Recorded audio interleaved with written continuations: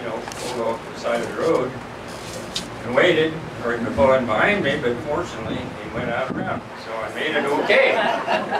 But it did remind me of uh, a little cute joke, or at least I thought it was. It's about uh, this little old lady, probably about my, my age, was speeding down the street, and the police pulled in behind her, put the red light on her, went up to the side of the car and he said, lady, you realize you're speeding? It's 20 miles an hour over the speed limit. It's only 20 miles an hour here and you're going 40. And she says, well, young man, you have to realize that a lady at my age has to get there in a hurry or I forget where I'm going.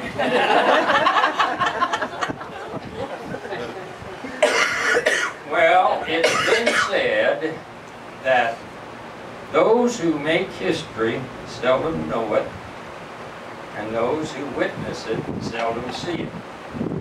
And I believe that the black settlers who come to my area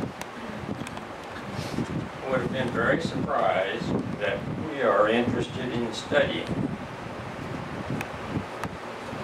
And I become interested in this history when I was uh, this is ancient history now. When I was a senior in White City High School in 1942, I was a quarterback on the White City football team. We went to play at Dunlap. We were out on the field warming up, and the Dunlap team came running out on the field. Now, I'm a country kid that went to town on Saturday night, you know, and didn't get far from home and wasn't too worldly wise, but on that Dunlap team, I noticed this black kid on their team. And, you know, it kind of raised the question to me, well, what's he doing down here at Dunlap? I mean, Dunlap to me was 90 miles from nowhere. Well, fast forward now about 30 years, I'm married, graduate from K-State, degree in history, or business and a minor in history, and my wife and I joined the Morris County Historical Society. So I went to the first meeting, the president says, well, what committee are we going to put you on? I said, well, I, I can't come down here to too many committee meetings, but then I told him the story I just told you about the black football player. And he said, you know, he says, I've wondered about that. Why don't you study that and a month or two come back and tell us all about it? Well, hmm. Little did I realize what I was getting into. I certainly wasn't planning on writing a book, but I did. It wasn't just one black football player at Dunlap, and it wasn't just about Dunlap. It was about the Kaw Indian Reservation. I'll show you a scale of it here in a minute. And it was about uh, the history of Kansas. It was about the Civil War all the states of the South were involved in this. Uh, Reconstruction, the Ku Klux Klan, White Knight, Jim Crow, and a whole bunch of other things involved the Reconstruction following the Civil War. So, it's a big story, and it's uh, it expands. So what I'm going to try to do to make sense to everyone is kind of first give you a summary of it, and then I'm going to get into some slides. But there were hundreds, thousands of blacks came to Kansas following the Civil War. There was, uh, they were getting out of there because of these Jim Crow laws. You see, right after the Civil War, the Confederates were disenfranchised. They lost their vote just like the blacks lost their vote. They didn't have a vote. But the blacks, as a result of Emancipation Proclamation, received the vote. The Confederates lost the vote and they were taxed heavily and many of them lost their farms and ranches. Well, I believe it was 1873, the federal troops, which was there to enforce freedom of the blacks, Federal troops were withdrawn from the South.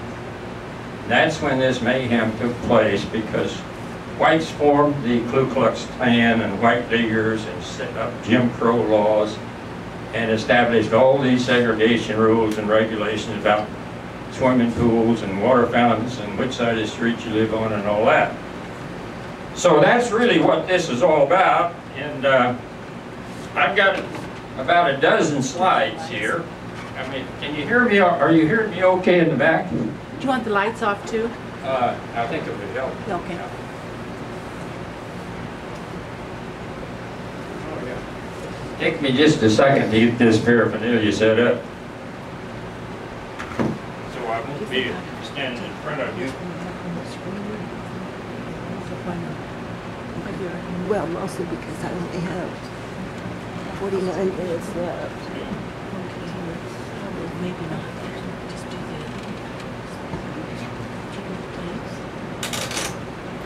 It's back there.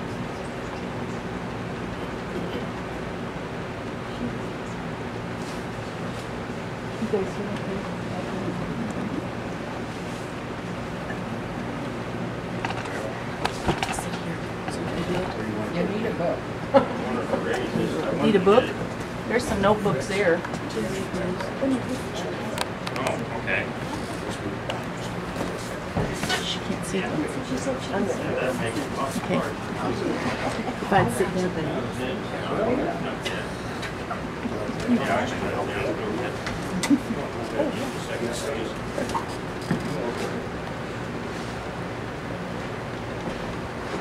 I didn't start out thinking that I was going to end up with a book entitled Back Black Settlers on the Kaw Indian Reservation, but that's what that was the central point of the book as far as the local area was concerned. Now, uh, the Kaw Indian Reservation was down by, by Council Grove. Council Grove was, I'll show you a map in just a minute, but it was a central location of Council Grove. The trading post was just south of Council Grove. It was 20 miles by 20 miles. And these people, these black settlers come up there because of a man that I'd never heard of when I started this research, and neither did anyone else down around Morris County. In fact, this whole history was almost lost because nobody down there knew really anything about it, except for two black people who I interviewed, and I'll show you some photos of those in just a minute.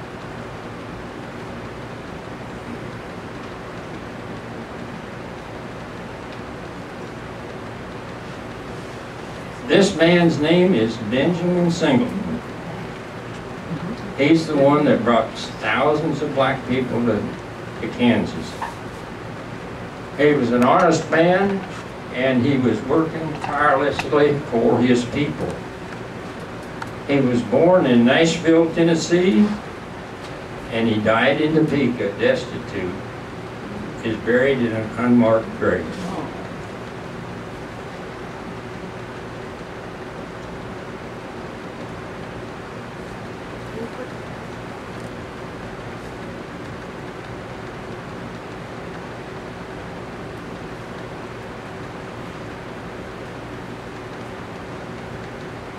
Can you see that in the back?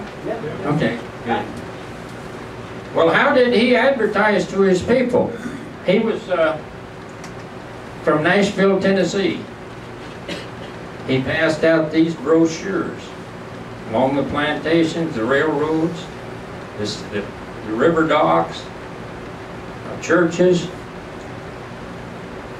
And he says it's they're leaving the 15th of April, 1878. Now, he'd had people here before that. But this boat was leaving from Nashville, Front Street, April 15, 1878. Now, I haven't verified, and there's no way that I know I can, but I believe this is the first group of families that come to Dunlap. They left there in 1878, and I know that a MKT train load of blacks came to Dunlap the following month. 275 black families. They came because land was available on the Kaw Indian reservations. You know, we'd given the Indians the land as long as the grass shall grow and the water flow. But we decided we needed that land. So we were going to sell it. And they did. But that's why they were coming up here, because the Indians were leaving. They left in 1873. They didn't get the land sold for four or five years after that. But anyway, uh, that's why they came here. This is one brochure. There is one here that's specific to Dunlap, and I'll, it's kind of interesting, or I think it is. I don't know, you probably can't read that, but I'll read it for you.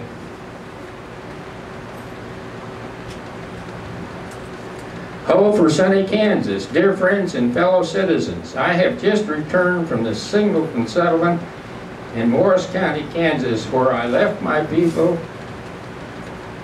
on the uh, finest, one of the finest countries for a poor man in the world.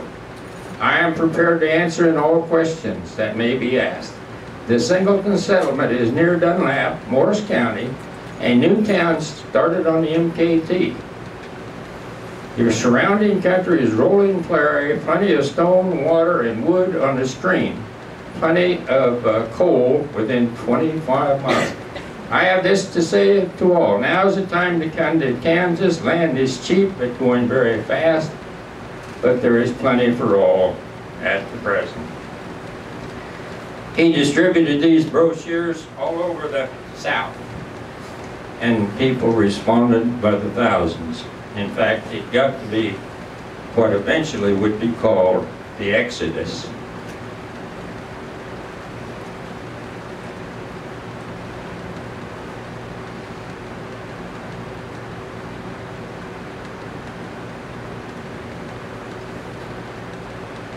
This is a rough drawing of the Kaw Indian Reservation. It touched into four counties, Wabaunsee on the, on, on the north, Morris right here, with Council Grove here, Dunlap here, Lyon County here, Chase County here, and Emporia is right down in this area.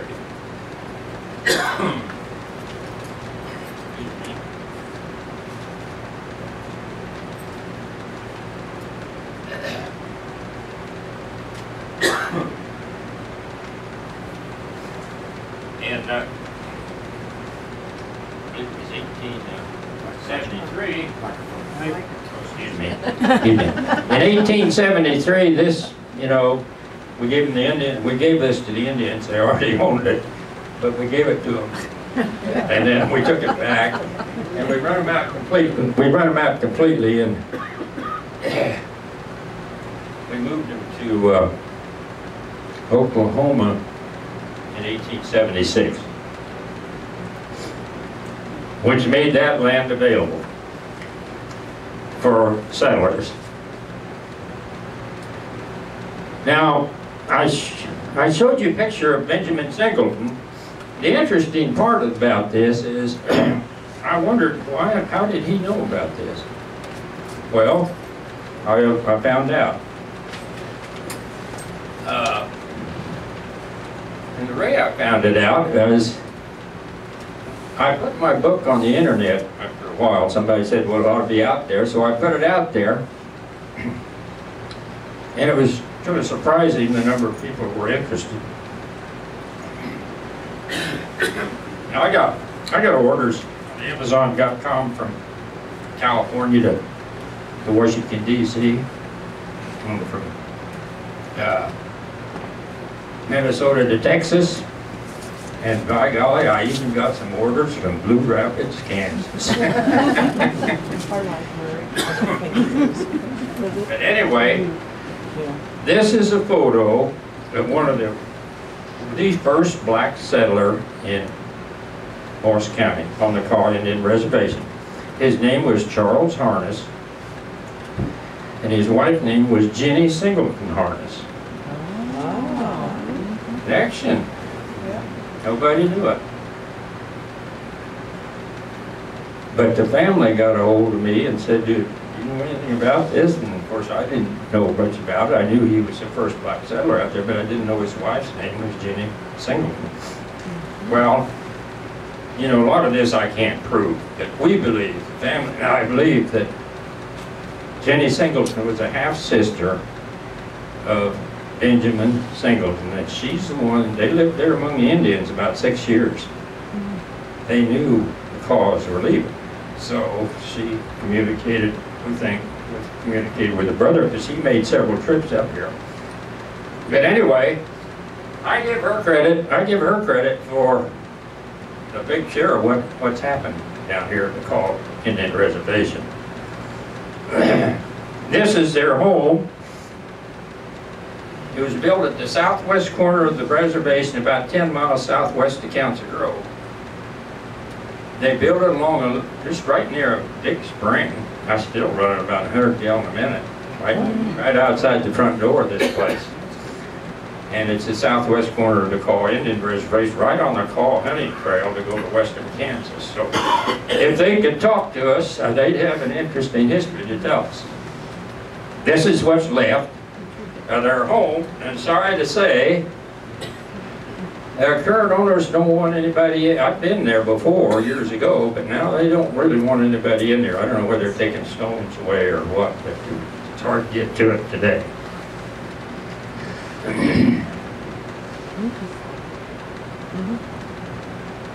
Now, uh,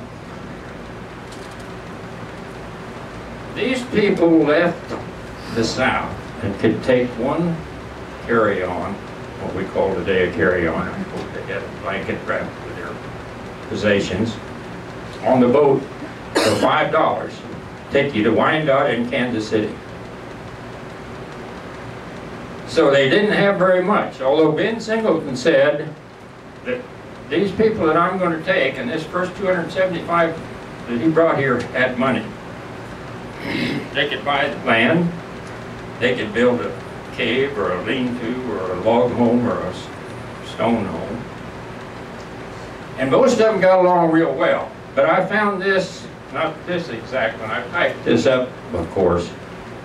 But this is a list of settlers who were in trouble financially and needed some help. Now, there's an interesting aspect to this if you study it real well. I think we've all heard the term 40 acres and a mule. That was a, a rumor that fled across the South among the, the blacks, that if you could come up here, the government would give you 40 acres and a mule. Now, of course, it didn't transpire.